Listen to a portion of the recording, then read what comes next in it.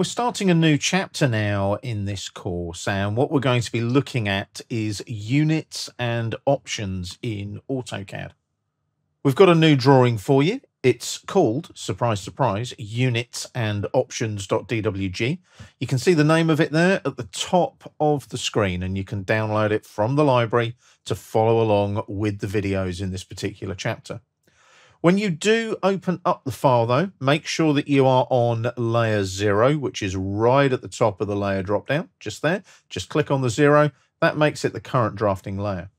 Also make sure that you are in the model tab here, bottom left of the screen, so that you can see your floor plan. Now, we're going to start moving through how we utilize units and the options dialog box in AutoCAD. So with our floor plan, Let's have a look now at how our units are set up in AutoCAD. Now, one of the things that is a giveaway for units is dimensions. So you'll notice we've got lots of red dimensions on this particular drawing. And you can see they're in their thousands and even tens of thousands. That's because this drawing is drawn in millimeters. Normally, when you're working in AutoCAD, you work full size in the Model tab.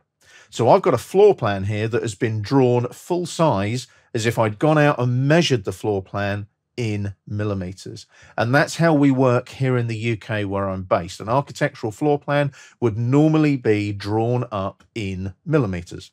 So, for example, that dimension there, 10363, that's roughly 10.4 meters because it's 10,363 millimeters. Now, normally in context, if you want to check your units in an AutoCAD drawing, you would zoom in to a known quantity, such as a doorway. And we've got plenty of those. I'm going to zoom in on this doorway here. And I'm just going to get in nice and close, rolling up on the wheel. And a little trick you can use is to measure a doorway. So in the Home tab on the ribbon, if you go to Utilities here and click on Measure, and just go to Distance, making sure your object snaps are on down here, there they are. Object snaps are on. I can snap from this endpoint snap, left click, and go to this endpoint snap here, left click. And that doorway is 1155.7 millimeters wide. Now, obviously, you wouldn't worry about 0.7 of a millimeter.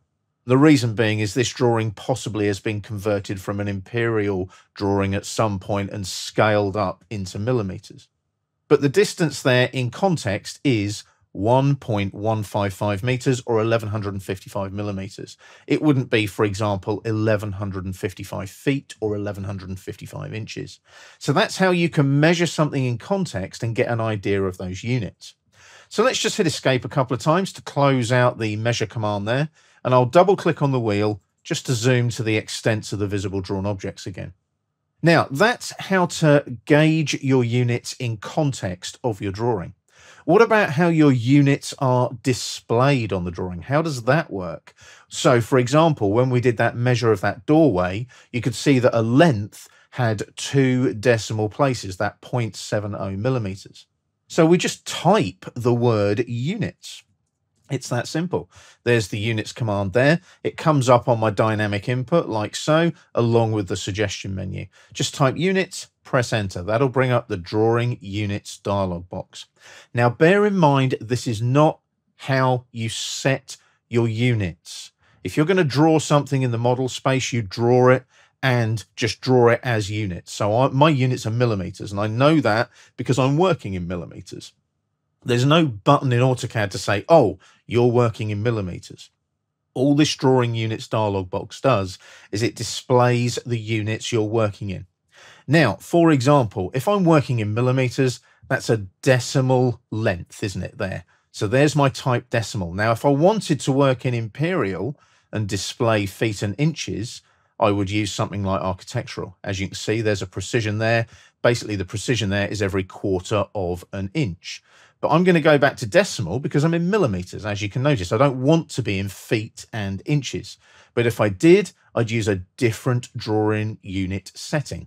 Also, you've got there engineering, as you can see, inches, and we've got fractional, which is also inches, but without all the little sort of speech marks and apostrophes that represent the imperial measurement. Now, also as well, you could potentially be working in decimal inches. You might be drawing 1.5 inches, 1.5 feet. So this is representative of the display of your units only. That's all it does. It displays what you're working in. So just be aware of that. AutoCAD is not going to say, oh, are you working in millimeters today? You have to decide that. You have to decide how these units are going to be displayed in your drawing units dialog box. So for me, it's millimeters, metric, decimal, like so. And you can see the precision there is two decimal places. That's why we got that 0.70 showing up when we measured that doorway earlier. So what I'm going to do here is maybe set that to one decimal place, just so I know if there's any weird discrepancies of say half a millimeter here and there. It means I can update things and change settings and even change geometry if I need to. Now, decimal degrees, you've also got things like degrees, minutes, and seconds. You've also got gradians and radians, which involve pi when you're working with circles and so on, and 360 degrees. And if you're working in surveyor's units, you might be working to points of the compass. You can see north and east there in the precision. Again, I'm just going with good old decimal degrees, which tends to be the default setting. Now you'll notice my precision there is quite high. And the reason for that is over long distances, a small discrepancy in an angle can get bigger and bigger like the slice of a pie. So it's up to you what precision you use. Normally, I double what I'm using for length. So in this case, I could potentially go down to two decimal places. You'll notice as well, clockwise here, I've got that unticked. AutoCAD by default measures angles anti-clockwise. And that's always been the norm. As long as I've used AutoCAD, I've always measured angles in AutoCAD counterclockwise or anti-clockwise. If you want to use clockwise, tick the box. Insertion scale. We will cover this a little bit in this chapter, but ideally, because I'm working in millimeters, the units to scale inserted content would be millimeters.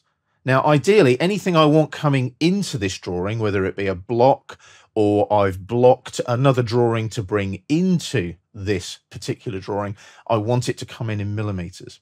Now, we'll cover insertion units and things in one of the videos in this chapter. So don't worry too much about that right now. But my drawings in millimeters, so the units to scale inserted content should be millimeters as well. Sample output shows you what you're going to get on the screen there.